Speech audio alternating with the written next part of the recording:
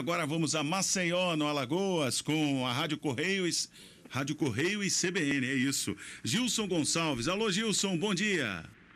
Bom dia, bom dia, ministro. Uh, eu gostaria de enfatizar, ministro, que a região Nordeste é uma, que, uma das regiões que mais cresce no país hoje em relação ao, ao turismo. E em Alagoas, é, está com uma grande frequência do turismo, o cruzeiro marítimo.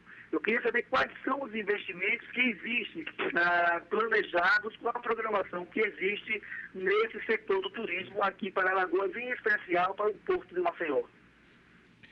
Ô, Gilson, bom dia. O Ministério do Turismo tem apoiado ao longo do tempo bastante né, as demandas que vêm tanto do governo do estado como das prefeituras do roteiro turístico aí de Alagoas. É preciso lembrar e que nós apoiamos fortemente a construção do novo aeroporto Zumbi dos Palmares aí em Maceió.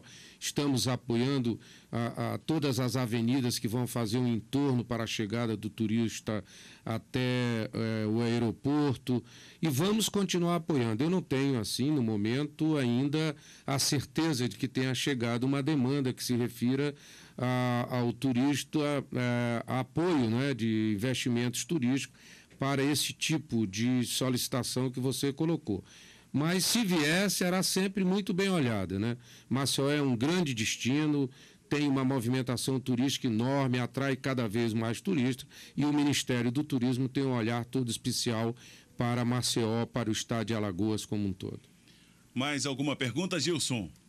Não, só agradecer a oportunidade e agradecer também e parabenizar o Ministério do Turismo trabalho que vem sendo feito é, em todo o Brasil.